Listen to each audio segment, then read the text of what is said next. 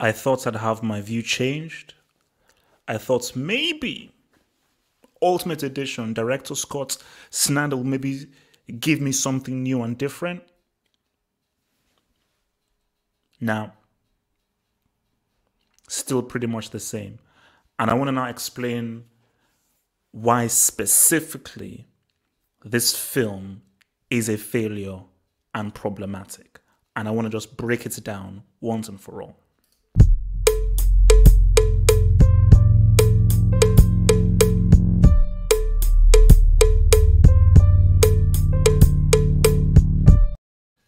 You see, I didn't want to do this. Because, like, for me, when after I saw Batman v Superman, I said to myself that this film is so bad.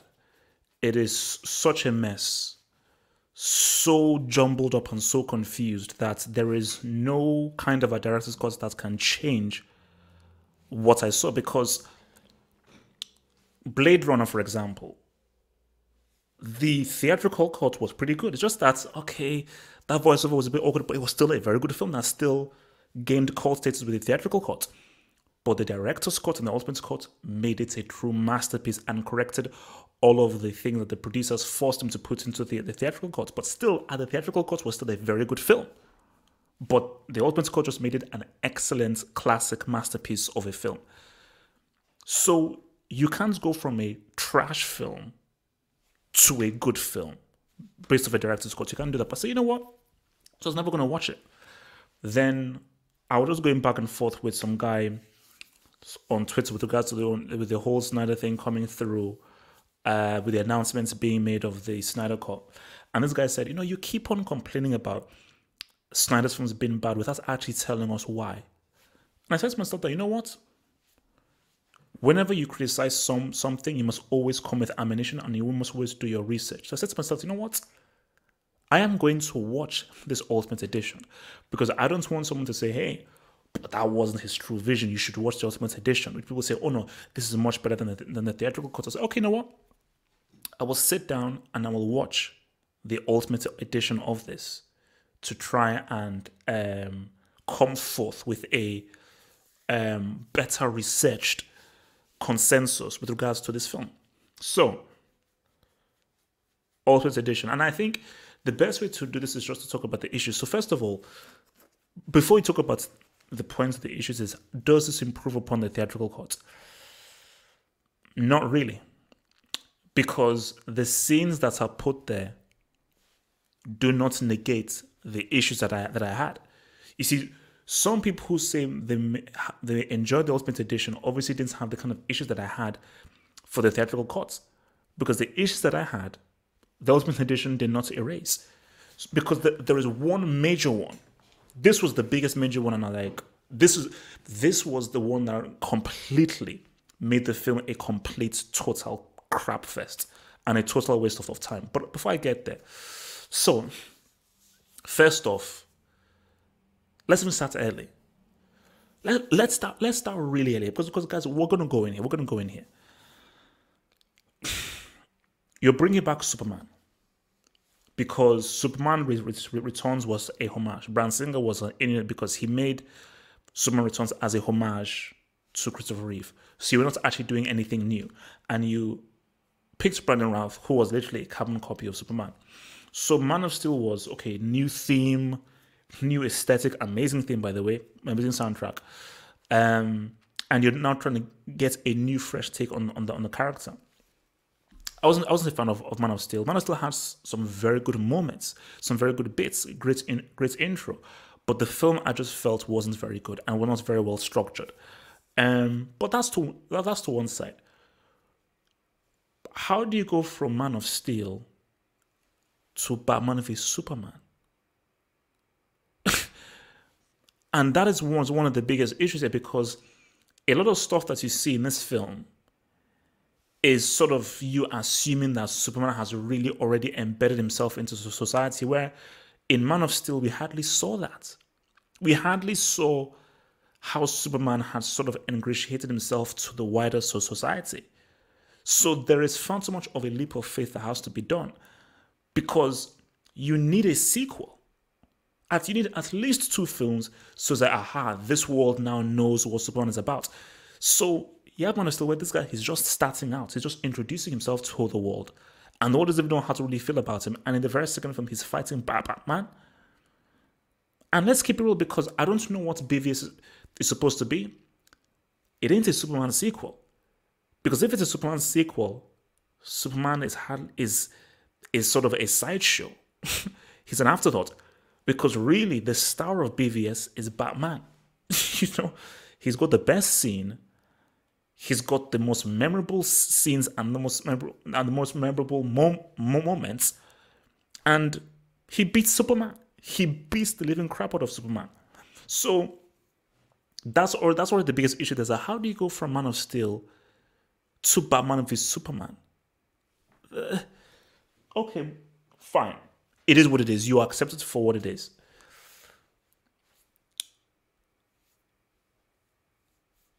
This the biggest issue with this film, again, the Ultimate Edition did not really help, which is that what film are you making? Okay, you're making Batman v Superman. Why is Wonder Woman here? okay, Wonder Woman is featuring. Why are there Justice League, League, League files? Okay, why is there Doomsday? I'm going to talk about Doomsday separately, but this is a Superman sequel. This is a introduction to Batman. This is a Batman v Superman hybrid. This is a Justice League introduction. This is a Doomsday storyline. You've got three, four different storylines in one film. So as you're watching it, it's unfocused. It feels like this is a total mess. You're not watching a film. You have to choose. You have to choose one. I think Batman v Superman is a dumbass concept. Fine. If you're gonna do that, stick with it. Say it's Batman v Superman. This is what it is, and just stick to that. And that is your film. Don't bring in Wonder Woman. Don't bring in a Justice League. Don't bring in a Doomsday. Let that be the thing and boom, because you're selling it as Batman v Superman, and then it ends up being a jump off and a springboard for the Justice League. And I'm sorry, that's just too much to shove in. Hence why, of course, it's going to be a three hour film. But it doesn't need to be a three hour film. it really doesn't need to be a three hour film. You know, and do you really want to give a three hour film to a filmmaker like Zack Snyder and a writer like David S. Goyer. Because David S. Goyer is the guy that wrote Blade Trinity. David S. Goyer was the guy who decided that he should input an emitter in Batman Begins. This dude. So, because three hour, three hour movies for our films, those long films, that's what you give to a Peter Jackson. That's what you give to a Scorsese. That's what you give to a Spielberg. Guys who know how to keep the audience fully engaged in a film that's three because for someone to sit down for three four hours straight that's a long time that's a long time um what the Ultimate Edition doesn't correct is casting casting i can i have my issues with rises darkness and so forth but my god in heaven the difference between christian bale's acting and ben affleck it's it's massive it's a freaking chasm we all know who, who Christopher Reeve is. But I'm just I'm just watching Superman and Lois on freaking CW. That cheese CW. That's Hannah Hutchin, dude. His acting is better than Henry Cavill. We already know that Gal Gadot's acting is horrendous. She's a horrendous actress. Like she's she's it's she's awful. She's she's absolutely awful.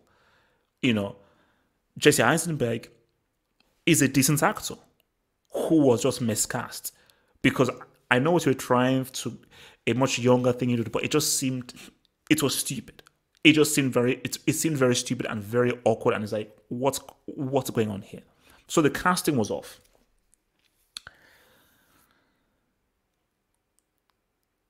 So th- so really those those are the main things where I you see the key thing. Oh, and here's the key because I want to get to Doomsday separately. No no no no let's bring in Doomsday now because there's another one I want to talk about separately, which is the biggest issue of the film Doomsday. Why? I was I'll be real with you. Before Doomsday came up, I was like, okay, this isn't great, but okay, I can rock with this.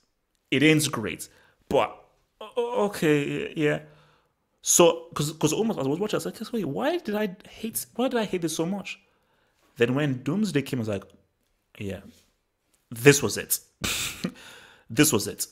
You know, um, actually, are two things. Yeah, yeah, yeah. So, Doom, do you? That is Superman. That is the. That is that is arguably Superman's greatest story. The guy builds to come and kill him the guy builds to take him down. The Death of Superman is one of the best selling comic books in history. And I read it. It's a bloody amazing comic book where he fights Doomsday for the entire comic. it's a fight for literally 200 pages. So it is an incredible, crazy storyline with a crazy ending that nobody really saw. So, how do you have a storyline that is so epic to Superman? I see for me, people say, oh, it's not the real Doomsday and so forth. I'm sorry, he was called Doomsday. He um Lex Luthor presented him as Doomsday, and he ended up killing Superman. So yes, Zack Snyder and Goyer had a Batman introduction, Batman v Superman story, Justice League Justice League introduction, Wonder Woman introduction, and a Doomsday storyline all in one film. That is psychotic. You have to be a psychopath. too. so for Warner Brothers, I don't know who greenlight that. You have to be a psychopath. Because if I producer say, Zack, I'm sorry, you can't do all these things in one. Because if you want to look at Marvel, they took their time. Iron Man 1, Iron Man 2, Captain America, Captain America 2. We're going to introduce this, make sure that the guys know about this stuff, and then boom, we'll then have the team up. But it is slow it's methodical because before there was an Avengers, there was a Captain America film, there were two Iron Man films, and there was a Thor film. You know, we're coming into Batman v Superman. There's there's, there's that's a Batman solo film. There's not a one-on-one solo film, and you're just shoving them into a Superman sequel hybrid. It is so irresponsibly psychotic. It's mad because, and this blends into my final and my key points here is this isn't a comic book. This is a film. And there are rules to making a film. You are making stuff for general audiences, not for a minority. And when you're making a film, you must have a beginning, a middle, an end. You must you must tell a story. You must have a narrative. There must be a focus. Even if you're telling several stories at one time, they must all converge to a um, particular idea to a singular idea that you're still trying to tell, even if you're telling multiple stories. They must still all converge to a single kind of idea that you're trying to freaking tell. Um, what this was to me was somebody that you're not thinking of making a film. You're just thinking of the DCEU. Let's just present present this DCEU and do all this kind of stuff and not shove it in them. It's like, no, make a film. Let's see a beginning, middle, and end. Make a film that has a story. So when you look about it, aha, this is the story of this film. Not just a bunch of scenes lumped to, together. Not just, oh, false god. Oh, is Superman a real god? Is he a devil, a, a demon?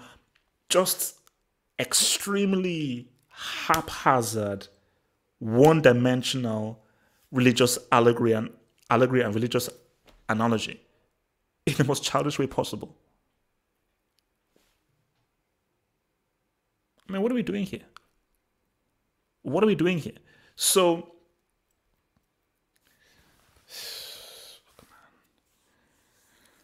and this is and this is the biggest issue with BVS, and this connects to the whole Snyder thing and my and my issue with the whole Snyder thing.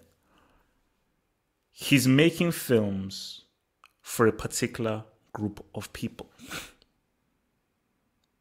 Which okay, fine. But for if but when you're giving this amounts of money, huge amounts of money, you can't just make a film for a particular group of people. Specifically when you have someone like Batman and Superman there. These are extremely popular characters. Now, I'm not saying that, oh, you must try to please people, but you must make a film that has a story. No, no, no, no, no. This is for the real true fans. This is for the DCEU. These are these are Easter eggs that all the comic book fans. No, no, no, no. Make a film that everyone can get into. The beauty of Iron Man 1 is it's a film. It's a film. It's not a film. Oh, if you read Iron Man issue 1160, no, no, no. It's a film. The beauty of Captain America First Avenger, one of my favorite films, is it's a film that has a beginning, middle, and end. It has a narrative. It tells a story. I have never read a Captain America comic, but I watched that. I'm like, man, this is a great film because it's a quality story and it's well made, but it's a good film.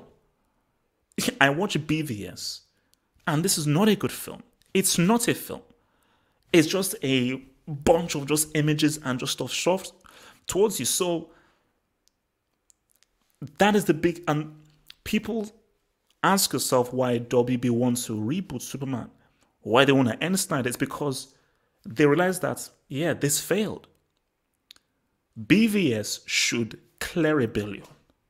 You have two of the most popular characters in history. In history, there are very few characters that are more recognizable, more loved, more popular than Batman and Superman. How do you have a film that has both Batman and Superman and you don't make as you don't you don't you don't approach two, two billion? You should get a billion in your sleep. What and what's the reason for that? Because people have an agenda against Snyder, because people just hate Snyder. No. So the general audience just so uh, that Zack don't know. It's because the film is bad. And it's not because the Ultimate Edition wasn't in the cinema, because trust me, you put out that three hour film in the cinema, people will still be like, what the flick, what the freaking, what, what the heck is this?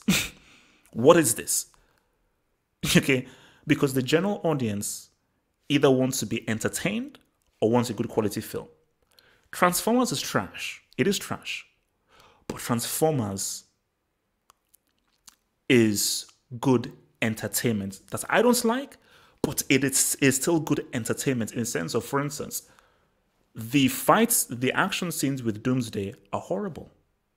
It's, it's freaking horrible. It's stupid. It's like watching a video game movie. As bad as those Transformers films are, now those films are bad, the fight scenes, the action scenes are well done. Because Michael, say anything about Michael Bay, he knows how to frame action scenes in a dynamic way where it's exciting and visceral. And I say, no, the films are the films are crap. The films are horrible. But the action scenes are well done. They are well done. But for Superman, you've got a bad film that's completely confused, telling 3,000 stories and the big final action scene is crap. It's stupid. it's like this is like a PS2 Seka 2002 final level boss.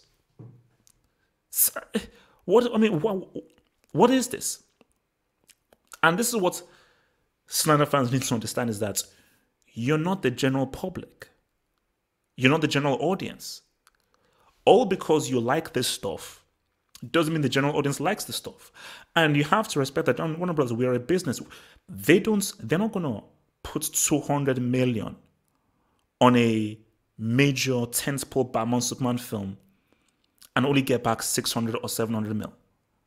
If they are putting in that money, they're expecting at the very least a bill of 1.5. Because you also have to add in marketing and promotionals as well, because it's Batman and Superman. You know, so you have to ask yourselves this that when you just say, oh, people are against Snyder, we know the, the Snyderverse, this is how it is now. Should these films just be made for you guys? Or should this film be made by the general populace? Because you don't own Batman v Superman. I'll repeat myself. These are two of the most popular characters in history, along with obviously Spider Man. which means that most people on the planet know who Batman and Superman are. Most people on the planet like Batman and Superman. Now, you may be bigger fans of them because you read the comments and you're more into it, but most guys like Superman and Batman because based on their popularity. So that's why that, you know, I look at BVS and the whole Snyder thing is Warner Brothers, they took their shot in giving him the reins, giving him the the keys to the King Kingdom. But I think ultimately it was um it was a wrong call. It was a wrong call because I just think here, here's the thing. I think Warner Brothers felt that he obviously has the visuals and he will definitely have the Comic Con because he definitely has the Comic Con populace. So when I just assumed that with the Comic Con support and the support of those hardcore fans, general audiences will come through. But I don't think that they didn't really realize that if you don't make a good film, people won't come back. So they'll come in for the initial first weekend, but what's see what gets you to a billion and over are multiple viewings. Oh, this is a good. People don't watch a bad film multiple times. People don't watch a boring film multiple. They watch a great film multiple times. They watch an entertaining film multiple, multiple times. Um, what's it called? Batman Begins. Um, what's what's what's it called? Captain America: Civil War. Um, the the first Batman film, Superman One. These are good films that people say I I enjoyed it. I want to go back and watch again. Transformers, crap film, but it's well made entertainment. So, this, so that's the thing. You want to compare Transformers with, with this. Because again, this is a bad film. Transformers is, is a bad film, so is this. But why did Transformers make more money than this? Because let's keep it real. Batman and Superman are more popular than Trans Transformers. But Transformers is better made entertainment than this is. So this fails as a film. This fails as well made entertainment. so there is no reason for general audiences to come back because it's not a good film and the entertainment is, is badly made. You know, it's not filmed as well, it's not framed as well, it's not put across as well as Bay does in his Transformers. So there is nothing for guys to come back to. Um, and again, people can disagree or, or agree or disagree, but at, on a fundamental level, on a fundamental level, is you've got to make a good film. You've got to have a story, a clear, concise story. And your story just can't be sound bites. They just can't be speeches. They can't be religious allegories. They can't be um, cheap analogies. You know, like that's what they say in screenwriting show, don't tell. You know, you've got to embed your, your message in a clever subliminal way into your film rather than it's been beaten down upon you and and screamed out at you, which is what the, what this film film does, man. So again, look, I said for Ultimate Edition, I, I I viewed it and I saw it and I was like, it's Snyder has his talents. Like again, watching that Batman fight scene was amazing. Batman's suit is amazing. Some of the scenes in it are amazing. But Superman is as boring as a freaking doorknob. Um, he is the most underutilized guy, and I just is like sorry, keep on. What works in a comic book doesn't necessarily work in a film. It doesn't necessarily work in a film. Same thing as when you say like you know you can't make a film of Akira. You just can't. It's it's it's un, unfilmable. So okay, the Batman with the, his um, massive big robotic suit and so forth, fighting Superman and everything. First of all, I thought that was I thought it was dumb in the comic. In Dark Knight Returns, I thought it, it, it was dumb, but in the comic, they're both old. so Superman is old as well. so they're both old. So even if I still think it's dumb, you can see that okay, these are just older men fighting. Perhaps Batman in his older age is perhaps much sharper than Superman in his older age. But just they just it just rubbed me the wrong way of Batman just beating Superman and just beating the, the, the crap out of this dude. Because I'm like, Superman came out, if you're a Superman fan, he came out looking like like a chump. He came out looking like a real chump. Because all he really did was, oh, he stabbed um, Doomsday with that spear.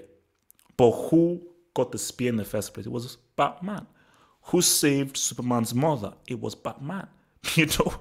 So who was the guy that actually led Doomsday away and so forth? It was it was so, so really this really Batman was the main guy in this film. you know? So it goes back to the whole thing of like, is this a Superman sequel? Or is this a Batman film featuring Superman? You know? So ugh. and even again as well. I'm sorry, Batman's motivation for hating Superman was stupid.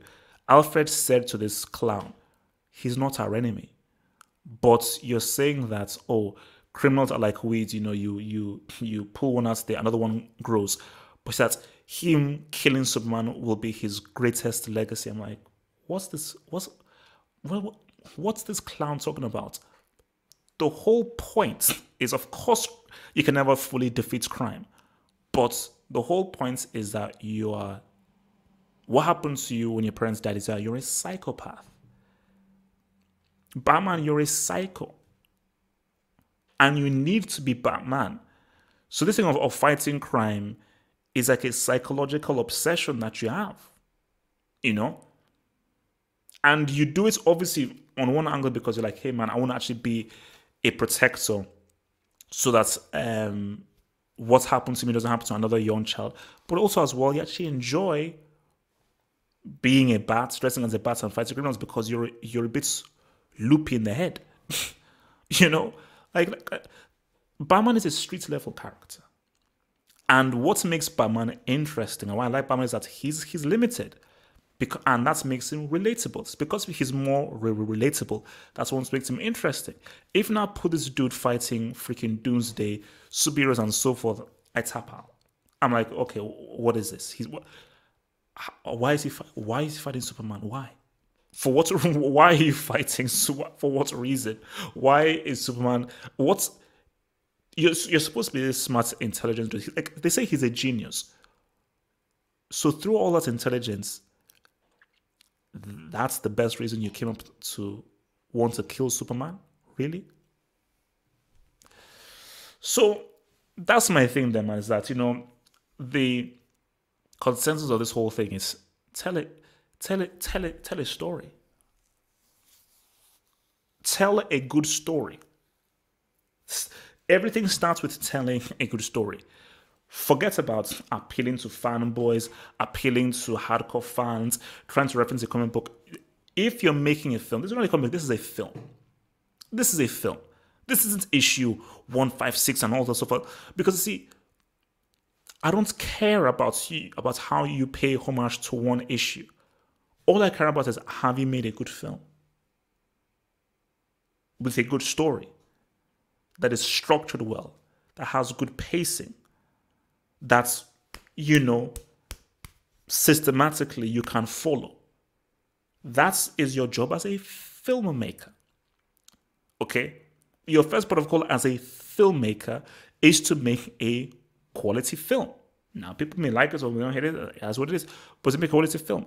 Your job isn't to create this weird hybrid that sets up Justice League and this DCEU because you have this crazy three, four film. You know? So that's just where people lose me here is that. So when I just talk to these Snyder calls and the Snyder fans and, and so forth, I come from film. See, that's my love. Yeah, I enjoy comic books, but I enjoy films more. And I respect the craftsmanship and the artistry of film and the discipline of film. Once that thing is on a motion picture out there, I'm not going to critique you as a film. I'm not going to critique you as, well, this is, he paid homage to the comic book here, he paid homage here. Oh, look at that, that's a nice. No, no, no, no, no. I'm like, okay, how does the film start? Okay, what is the plot? How well, is, how well do you tell the plot? How well does the story progress? How well do you pace things? How do you go from scene to scene? How do the scenes inter connect? How does the story now weave and go? Do, do things happen gradual? Do they happen slow? Do they happen too too fast? How do you now tie all the loose ends to end that? And how do you now wrap things off? And how do you now end? And what kind of um, surprises do you spring into? The, so I'm lo- these are all the technicalities you have to look for when you're looking at a film. I don't give a f- I don't give a damn about you paying homage to some freaking issue 156. No, that's a comic book. You're making a film. Now, you can respect the source material and use the source material as inspiration, but you're making a film. And you have to adhere to the rules of filmmaking. Not just, hey, I'm setting up the Justice League. Hey, I'm making a Doomsday storyline. Hey, I'm making a Batman thing. Hey, I'm making a Superman thing. Come on. So that's my thing there, man. You know, so I can say, man. Comment below. Tell me your thoughts. I'm happy to answer any questions, I'm happy to answer any questions. Peace out. Stay true. Much love. Like, subscribe.